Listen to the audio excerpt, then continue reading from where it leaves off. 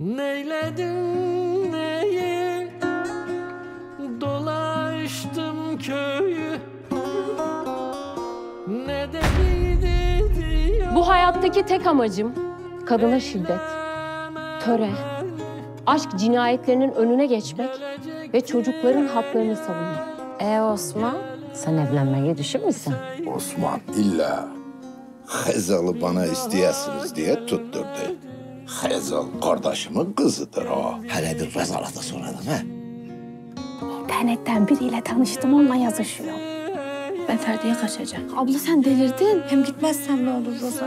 Beni bu sapık Osman'a verirler. Sen yoksa babamı sevmiyorsun. Ha, Sevmesem kaçardım kızım. Ben annemi çözen. Vere vere vere vere. Gizamın çıkı deri. Çok güzelsin be.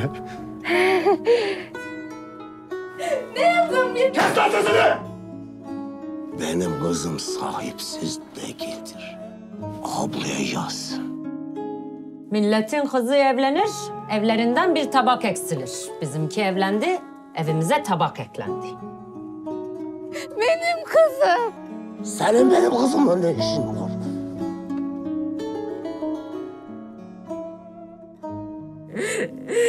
Ana ben yaşamak istiyorum. Ana yaşamak istiyorum.